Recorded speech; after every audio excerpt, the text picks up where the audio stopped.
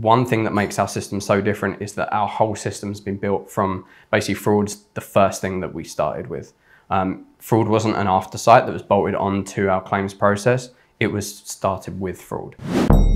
So I'm from London, from UK, uh, from motor insurance background. Um, so started in motor handling claims, just standard, um, we'd call it bent metal, but accidental damage claims. Um, then I kind of like grew an interest into personal injury um, and ultimately into fraud. With my background being so heavily orientated in fraud, um, one thing that makes our system so different is that our whole system's been built from basically fraud's the first thing that we started with. Um, fraud wasn't an aftersight that was bolted onto our claims process. It was started with fraud. And then our claims process was built off the back of that. That's fundamentally different and reversed from how it is in the industry.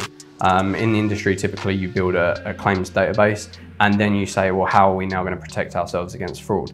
Um, this has been built with fraud from day one um, and every, you know the claims process has been filled in thereafter.